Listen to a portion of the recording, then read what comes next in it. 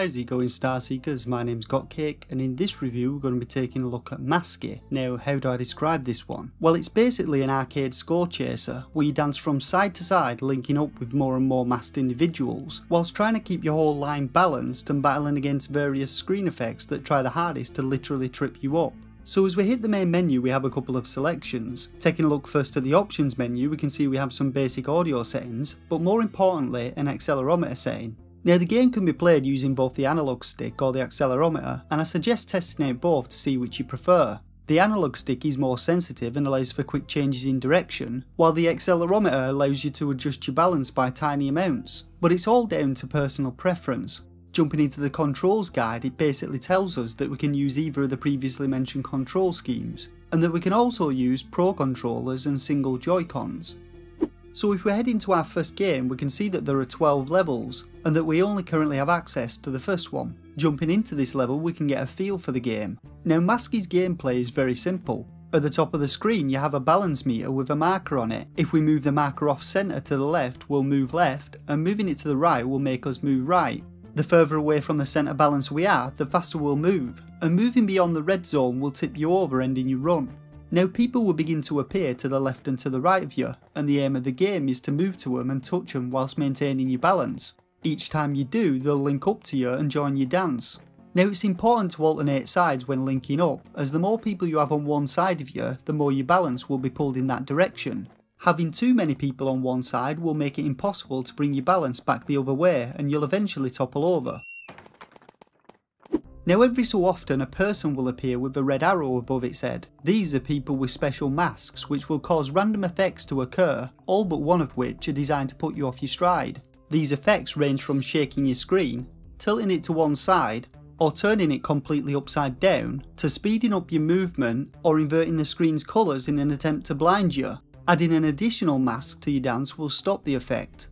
Now every 9 masks that you collect, a door will appear and you can gather 10 to give you 2 doors to choose from. Entering one of these doors will change the surrounding scenery and clear some of the people from your line, relieving some strain on your balance and allowing you to gather more masks. And so this is the entirety of Masky's gameplay mechanics. As I said before, very simple. Just keep your balance, gather masks, and try to maintain your composure as the tempo of the music increases and special masks do the dirty work on your screen. Once you fall, your score for that run will be displayed alongside your best score and you'll gain some experience which goes towards unlocking new levels. Now from what I can discern, each level has a different music track and lets you play as a different character wearing a different mask. They do have exclamation marks below them, but I'm not too sure what it means, so it's all down to your own preference.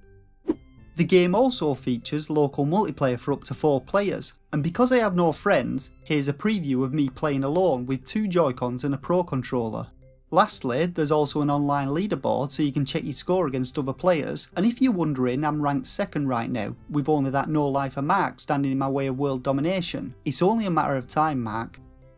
So what can I say about my gameplay experience with Masky? Well to be honest, when I first started playing it, I didn't expect to enjoy it as much as I actually did. Its gameplay and music have a kind of hypnotic quality to them, and after a while you just sort of find yourself in a trance as you intensely focus on keeping that balance marker at just the right angle. When you get into your 50s, it's like your subconscious has taken over and your fingers seem to move by themselves. But then out of nowhere your screen gets flipped and your whole world comes tumbling down. After that, you can't help but give it another go. The game is damn addictive, and the most surprising thing that I found out was that it's actually ported from mobile and was made in only two days as a submission to Games Jam. I also liked its minimalistic art style and the distinct visuals of each room.